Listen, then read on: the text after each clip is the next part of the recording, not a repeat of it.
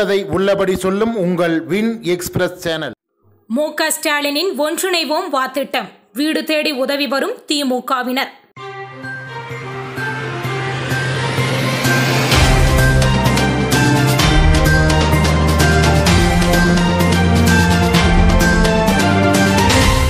தமிழகத்தில் கொரோனாவின் தாக்கம் நீடித்து வரும் நிலையில் பிரதான எதிர்க்கட்சியான திமுகவின் தலைவர் மு க ஸ்டாலின் வேண்டுகோளுக்கு ஏற்ப தமிழகம் முழுவதும் திமுக எம்பிகள் எம்எல்ஏக்கள் முன்னாள் அமைச்சர்கள் மாவட்ட செயலாளர்கள் மற்றும் முக்கிய கட்சி பிரமுகர்கள் மூலம் வாழ்வாதாரம் இழந்து வரும் வறுமை கோட்டிற்கு கீழுள்ள ஏழை கூலி தொழிலாளர்கள் மாற்றுத்திறனாளிகள் முதியவர்கள் என அனைவருக்கும் நிவாரண உதவிகள் வழங்கப்படுகின்றன. சென்னையில் திமுக தலைவர் மு க ஸ்டாலின் பல்வேறு பகுதிகளில் நிவாரண உதவி வழங்கும் நிகழ்ச்சியை துவக்கி வைத்து வருகிறார். கோவை மாவட்டத்தில் திமுகவினர் பல்வேறு பகுதிகளில் நிவாரண உதவி வழங்கி வருகிறார்கள். இதில் சூலூர் சட்டமன்ற தொகுதிக்குட்பட்ட சுல்தான்பேட்டை திமுக ஒன்றிய செயலாளரும் ஒன்றிய கவுன்சிலருமான மகாலிங்கம் கட்சித் தலைவர் மு க ஸ்டாலினின் வேண்டுகோளுக்கு இணங்க நிவாரண உதவிகள் வழங்கி வருவதாக கூறுகிறார். தன் வார்டிற்கு உட்பட்ட மலப்பாளையம் பாலக்கரை பகுதி மக்களுக்கு தலா ஐந்து கிலோ அரிசி மற்றும் மளிகைப் பொருட்கள் காய்கறிகள் வழங்கி வருவதாக கூறுகிறார். மேலும் ஊட்டி மேட்டுப்பாளையம் பகுதிகளில் நேரடியாக காய்கறிகள் கொள்முதல் செய்யப்பட்டு அப்பகுதி இளைஞர்கள் மற்றும் திமுக தொண்டர்களின் மூலம் தனித்தனி பேக்கெட் செய்யப்பட்டு சமூக இடைவெளி கருதி வீடு வீடாக சென்று வழங்குவதாகவும் கூறுகிறார். தமிழகத்திலே இப்பொழுது ஆண்டு கொண்டிருக்கின்ற ஆட்சியாளர்களை கடந்து எதிர்க்கட்சியாக இருந்தாலும் தளபதி அவர்கள் ஏழை எளிய மக்களுக்கு இந்த கொரோனா பாதிப்பால் அவதிப்படுகின்ற இந்த நூற்றி நாற்பத்தி நாலு தடை உத்தரவின் போது அவதிப்படுகின்ற மக்களுக்கு ஓடி சென்று நல்ல உதவிகளை செய்து வருகிறார்கள். ஒன்றினவும் வாம் என்ற ஒரு இயக்க இயக்கம் மாதிரி ஆரம்பித்து அதில் எங்களை போன்ற பொறுப்பாளர்களை எல்லாம் ஏழை எளிய மக்களுக்கு தினமும் அவர்களுக்கு தேவையான உணவு வகைகளை அன்றாடம் கொடுக்க கொடுத்து ஒரு ஒரு ஒத்துழைப்பை ஏற்படுத்தி வருகிறார்கள். அந்த இந்த ஒன்றிணைவோம் வா என்பது தமிழகத்திலே சிறப்பாக நடைபெற்று கொண்டிருக்கின்றது. அதற்காக இந்த நேரத்திலே தளபதி அவர்களுக்கு நாங்கள் நன்றியை தெரிவித்துக் கொள்கின்றோம். அதேபோல இந்த கொரோனா வை மக்கள் பெரிதும் பாதிக்கப்படுகிறார்கள். அதற்கு அரசு அரசை காட்டிலும் தளபதி அவர்கள் திராவிட முன்னேற்றக் கழக நிர்வாகிகள் எல்லோரும் சேர்ந்து சிறப்பாக செயல்பட்டு கொண்டிருக்கின்றோம். எல்லோரும் விழிப்புடன் இருந்து இந்த கொ- கொரோனாவை ஒழிப்போம் என்று இந்த நேரத்திலே உறுதி கூறி நாட்டு மக்களுக்கும் ஏழைகளுக்கும் தளபதி உறுதுணையாக இருக்கிறார் என்பதை தெரிவித்துக் கொள்கிறோம். ஆனால் ஆனால் ஊராட்சியில் எத்தனையோ முறை வந்து தலைவர்கள் வந்திருக்காங்கண்ணே. இப்போ அக்கா வந்து தலைவராக வந்திருக்காங்க. திட்டங்கள் வந்து மக்களுக்கு வந்து இது வரைக்கும் ஏதாச்சும் அதாவது வந்து கடந்த ஒரு ஐந்தாறு ஆண்டுகளில் எந்த தெருவிளக்கும் எரியல இப்போ நாங்கள் வந்து நாலு மாதத்துல எல்லா தெருவிளக்கும் எரியுது தண்ணி வசதிங்கிறது எங்கள் பஞ்சாயத்தில் நூறு பர்சன்ட் செஞ்சு கொடுத்துருக்கோம். அதே போல் இந்த கொரோனா பிரச்சனைக்காக சு அதாவது சுகாதார பணிகளை நல்ல செவ்வனே செஞ்சிட்ருக்கோம் மூணு முறை கிருமி நாசினி அடிச்சிருக்கிறோம். ஒன்று இந்த எங்கள் பஞ்சாயத்தில் இருக்கிற அனைவருக்கும் உணவு வழங்கியிருக்கிறோம். அரிசி பருப்பு மற்றும் காய்கறிகளை எல்லா குடும்பத்துக்கும் வழங்கியிருக்கிறோம்.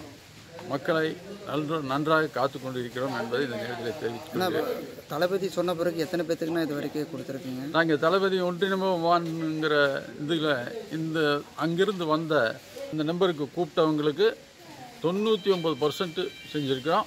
ஒன்று அரை அவங்க வந்து அது எலிஜிபிள் இல்லாதவங்களுக்கு செய்யாமல் விட்டுருக்கோம் சுமார் எத்தனை பேர் இருக்குங்க? சுமார் வந்து நூற்றி இருபத்தி நாலு பேர்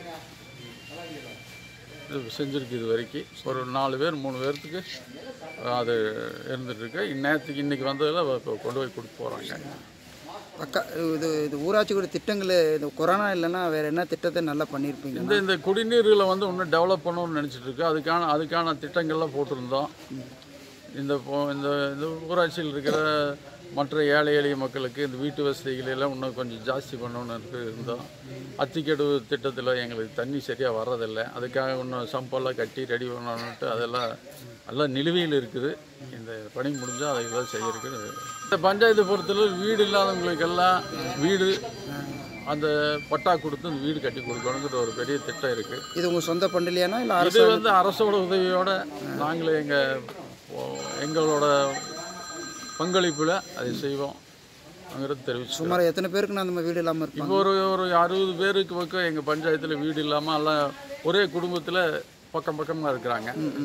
குடும்பம் அதிகமாகும் போது அதுங்களுக்கெல்லாம் அது ஒரு எழுபது எண்பது பேருக்கு புதிதாக வீடு கட்ட எங்கள் செயல் திட்டம் இருக்கிறது என்று தெரிவித்துக் கொள்கின்றேன். மருந்ததியர் காலனியில் ரோடு இல்லாமல் இருக்குது காங்கிரீட் ரோடு. அதுக்கு நாங்கள் கூடிய சீக்கிரம் போடுவோம். பாக்கி அந்த எல்லாம் அந்த தெருவிளக்குகளை இன்னும் டெவலப் பண்ணுவோம். இல்லாத பகுதிகளுக்கெல்லாம் என்பதை தெரிவித்துக் கொள்கிறேன்.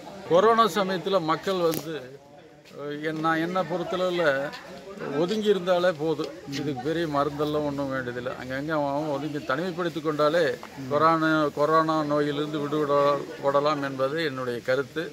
அதற்காக மக்களும் ஒத்துழைப்பை கொடுக்கிறார்கள்.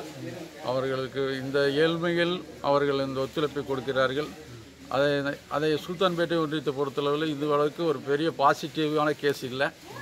அதே ஒரு வரப்பிரசாதமாக என்ன நினைக்கிறேன். எல்லாமும் மேலும் கட்சித் தலைவர் தளபதியாரின் ஒருங்கிணைவோம் வா என்ற திட்டத்தின்படி தினசரி நூற்றுக்கும் மேற்பட்ட வயதானவர்கள் வெளியே வர முடியாதவர்கள் தங்களை தொடர்பு கொள்வதாகவும் அவர்களுக்கு வீடு தேடி சென்று நிவாரண உதவி வழங்கி வருவதாகவும் கூறுகிறார்.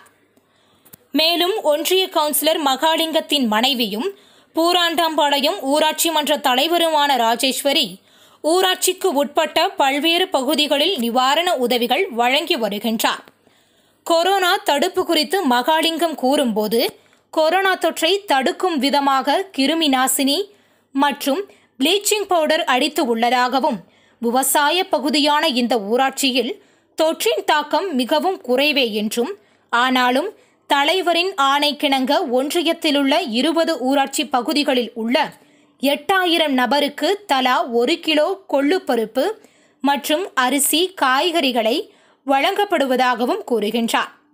அப்பகுதி பொதுமக்கள் நிவாரண உதவிகள் குறித்து செய்தியாளர்களிடம் சில தகவல்களை பகிர்ந்துள்ளனர். மலைப்பாளையம்ங்க ஆ. தலைவர்களும் தலைவர்களுக்கு நன்றிங்க. எதுக்காக நன்றி சொல்கிறீங்க கொரோனாவுக்காக ஏழை குடும்பத்துக்காக கொடுக்குறாங்க. என்ன கொடுக்குறாருன்னா அரிசிலாம் இருக்குதுங்க. குடும்பம் நல்லா இருக்குது குடும்பத்துக்கு ஜம்மல் இருக்குதுங்க. இதுவாச்சும் ஆனந்தமாக இருக்கிறோமுங்க ஓகே ஓகே தேங்க்யூ. இங்கே கொரோனால உங்களுக்கு எந்த பிரச்சனையும் இல்லை? அதெல்லாம் இல்லைங்க. ஓகே ஓகே ஸ்டாலின் தான் நல்லா செய்கிறாருங்க சரி வேணுங்க செய்கிறாருங்க அவர். எங்களுக்கு கொரோனா நிவாரணமாக அரிசி கொடுத்துருக்காங்க பருப்பு கொடுத்துருக்காங்க காய்கறி எல்லாம் கொடுத்துருக்காங்க. ரேஷனில் வந்து ஆயிரம் ரூபாய் பணம் கொடுத்துருக்காங்க. எங்களுக்கு வந்து கொரோனாக்கு வந்து எல்லாருமே நல்லா இது பண்ணியிருக்காங்க. கொரோனா பிரச்சனை சீக்கிரம் போயிடுச்சுன்னா நல்லது. நீங்கள் யாருக்கு நன்றி சொல்கிறீங்க மன்ற தலைவருக்கு நன்றி சொல்கிறேங்க அரிசி கொடுத்துருக்காங்க பருப்பு காய்கறி கொடுத்துருக்காங்க. அது நல்லா இருக்கா? உங்களுக்கு பிரச்சனை நல்லா இருக்குங்க. குடும்பத்தில் எல்லாரும் நல்லா இருக்காங்க. நல்லா இருக்காங்க. தலைவருக்கு நன்றி. தலைவருக்கும் தலைவர் அம்மாவுக்கும் ரொம்ப நன்றி. இந்த கொரோனாவை ரொம்ப கஷ்டம் ஏழைங்களுக்கெல்லாம் உதவுனாங்க. ரொம்ப நன்றி.